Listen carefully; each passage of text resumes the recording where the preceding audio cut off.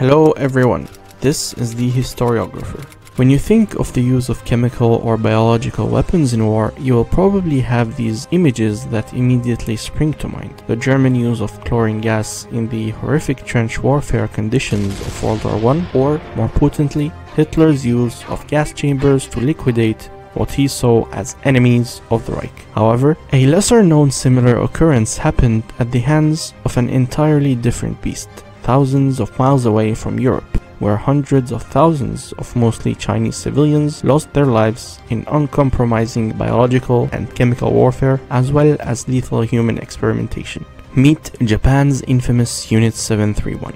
While Japan signed the Geneva Convention in 1925, which prohibited biological and chemical warfare, other Japanese imperialists, including the unit's founder Dr. Shiro Ishii, saw the ban as an opportunity. In order to convince the Imperial Japanese Army, the military physician Ishii, who would become the mastermind behind Unit 731, built the case that bacteria and gas were a much less expensive war weapon. By 1930, the army was more open to Ishii's ideas of developing biological weapons, and after Japan's notorious conquest of Manchuria in 1931, Ishii was given the green light to start working on his project. By 1932, Dr. Ishii chose the city of Harbin in Japanese occupied Manchuria as the site of Unit 731's first biological and chemical weapons facility, which would later be moved once more to the suburb of Pingfang in 1936. Japan's medical institutions collaborated with Unit 731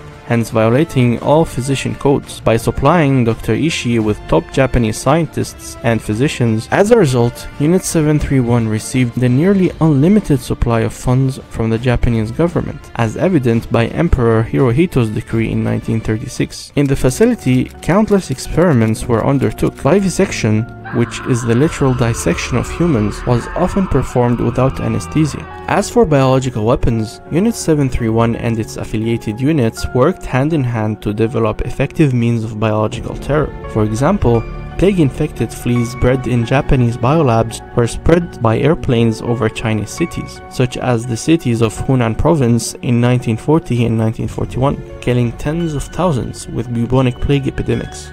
In other tests, victims were deprived of food and water to determine the length of time until death. They were also electrocuted, placed into centrifuges, and spun until death, subjected to lethal doses of X-rays and various chemical weapons inside gas chambers, injected with seawater, and burned or buried alive. Note that these are but mere examples of the horrific atrocities committed inside the walls of Unit 731's headquarters, and further reading can be found in this video's description.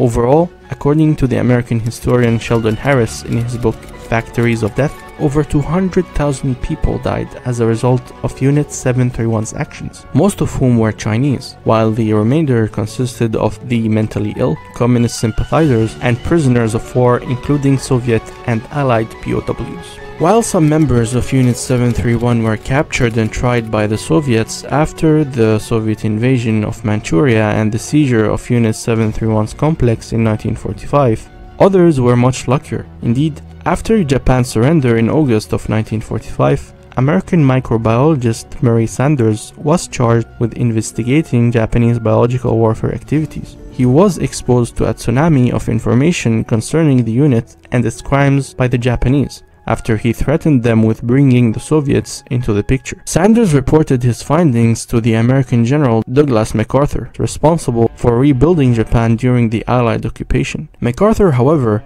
struck a deal with the remaining members of Unit 731, secretly granting them immunity, including their infamous leader, Lieutenant General Shiro Ishii, in exchange for solely providing America with their invaluable research on biological warfare and data. In the 90s, the Japanese government released the names of the perpetrators, but did not apologize. Today, living members live in shame for their war crimes as evident by this interview with Hideo Shimizu, a Japanese ex-Unit 731 member, which said this about about his involvement in the unit's war crimes. I want to apologize to the Chinese people. I would like to thank the Chinese people from the bottom of my heart. We have committed atrocious war crimes against the Chinese, and I think that the Japanese people should repent for their war crimes and apologize to China. Ultimately, Japan consistently refuses to officially apologize to China for their war crimes. As it would bring unnecessary attention on both the Japanese ruling family's involvement as well as America's Machiavellian pardon.